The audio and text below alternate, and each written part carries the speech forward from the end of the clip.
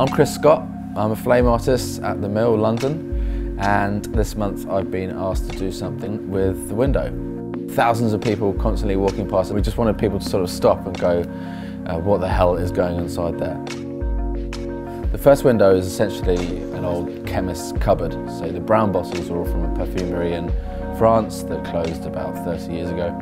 The second window is the main focus with a giant test tube rack, which is filled up in a certain way to reveal the mill logo. The test tubes represent the different departments in the mill.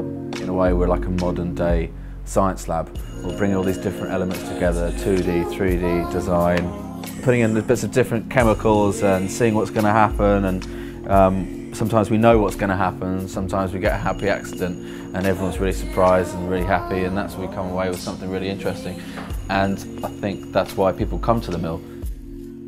He actually looks like your typical 3D artist, doesn't he? With a beard. He could very well be just setting off a render there. I want the window to feel alive all the time, like it's constantly bubbling, lights are changing. The creative aspect of the window is a pretty sweet reference to um, Mill Plus and our new blog, The Space Between. I'm really happy with the way it looks and uh, hope everyone enjoys it.